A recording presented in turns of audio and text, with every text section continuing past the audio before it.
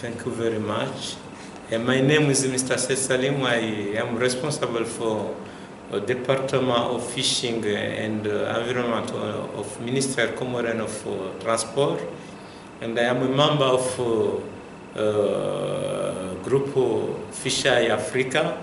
And it is, I think it is a opportunity for the Comoros to work for, for this program because you can uh, uh, benefit or opportunity of uh, capacity reinforcement and you can make uh, together the cooperation to make stop for illegal fishing on the Indian Ocean.